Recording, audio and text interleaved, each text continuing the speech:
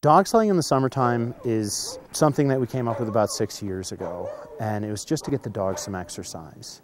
Uh, a common misconception is that Huskies are cold weather dogs only, but really they just need the exercise. Things that we've seen since, uh, since doing the summer operation is our vet bills have gone down because the dogs are healthier. We take some extra time in the river where they get to lay down in the cold water, and uh, we just keep an eye on them, make sure that they're always hydrated. It's pretty obvious that they want to run uh, when you start hooking them up to the lines.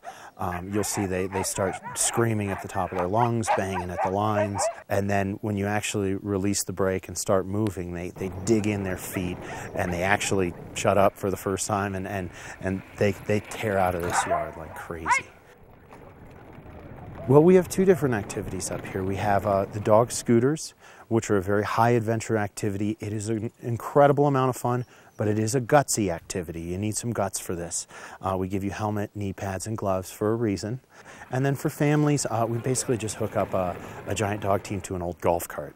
And uh, it's the wildest golf cart ride you'll ever have. We get it up to about 30 miles an hour with dogs pulling it. The first half of the trip is uh, we, we introduce you to the kennel. We walk you around, you get to play and get covered in a bunch of muddy paw prints. And so we'll go around and we'll teach you how we breed them, train them, and then uh, we play with the puppies, and you, you, get to meet all your dogs. And then after that, um, then we, we take you on a ride.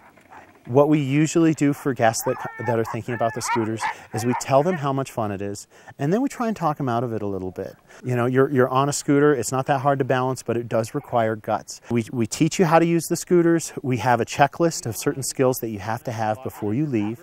We set you up to succeed. Guests that come out and do the scooters um, often come back another day. Perfect. It's, a, it's an awesome activity. It's a ton of fun, but it does take some guts. Um, reservations are required um, for all of our trips out here, and uh, the best way to get a reservation is just call 970-453-PULL, and you can also check out our website at snowcapsleddogs.com. We have an invention here that was created here at the dog yard. Uh, it's called the Tug and Tow, and uh, it's built to keep the line out of your tire when you're biking with your dog. Um, it was originally created so we could do the scooters, and so that what the tug and tow allows you to do is take your dog for a bike ride. They can run along while you ride your bike, and now you're more evenly matched, and you can get your dog, you know, miles and miles of exercise, you know, before they wear you out. And so it's basically uh, a retracto leash for your bike that's built really tough so it can handle the loads that it can handle, you know, running with your dog. You can find it at snowcapsleddogs.com, and we have a lot of YouTube videos and stuff that'll really teach you about the device and uh, see if it's for you. Our dogs, um, we start training them to run at about eight months, and they're working full time by the time they're a year old. Uh, when they turn eight years old, we start looking for a home for them. And we actually have a very uh, great adoption program up here. A lot of guests that come out bring home the ultimate Breckenridge souvenir, which is a sled dog. And we communicate on Facebook and we keep track of the dogs. You know, if you move or family problems or anything goes wrong and, and you need to give up the dog, they can come home to here. If they don't find a home, what we do is we actually unhook them and they get to be a sheriff of the yard. They wander around the yard and they get to sniff everything and, and check on everybody, and it's a good retirement. They're just like little, they're like an incar incarnation of a, of a live teddy bear. Uh, they're a lot of fun to play with, they're really cute, and they're actually the worst guard dogs you'll ever find.